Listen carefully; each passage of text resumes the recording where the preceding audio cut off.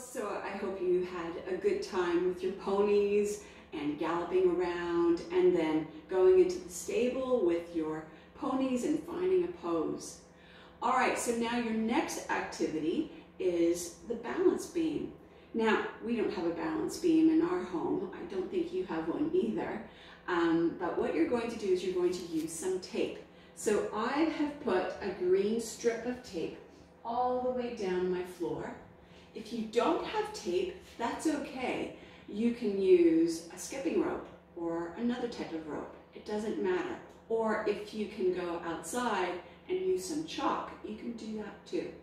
All right, and the other thing that you will need is a little stuffed animal. So I have something like this, but it needs to be small and it needs to be something that you can toss and that you can put on your head or any other parts of your body.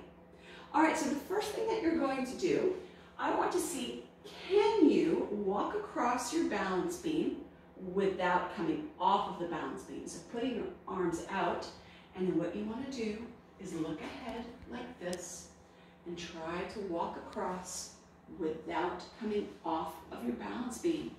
When you come to the end, you can go up on your tippy toes, turn around, and then walk back. Try that a couple of times.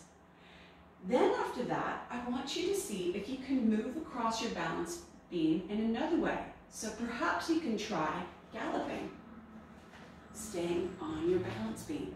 Is there another way that you can go across your balance beam? Perhaps you can try hopping. Oh no, I think I came off of my balance beam. You can try skipping. You can try crawling. Try different ways. I want you to have fun with it. But in total, I would like you to find four to five different ways that you're going to move across your balance beam. After that, I want you to explore how you can balance on your balance beam. So you can, of course, try with one foot. Perhaps put your leg up like this. Keep your muscles nice and strong, not floppy. Maybe you can try it with the other leg as well. Going right like this. Balance using other body parts? How about just your bum? Or perhaps you can balance on one foot and on one hand on your balance beam, like this. I want you to try different ones, perhaps four or five different poses. And then you can actually put it together and make it into a really cool routine. The other thing that you can have fun doing is taking your little animal, you can actually balance it on your head, and you're going to go across your balance beam without your little animal falling off. Can you put it somewhere else? What about on your shoulder?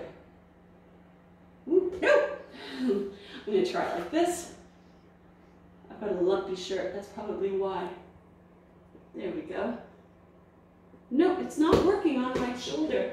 That's okay, I can try it on my hand, like this.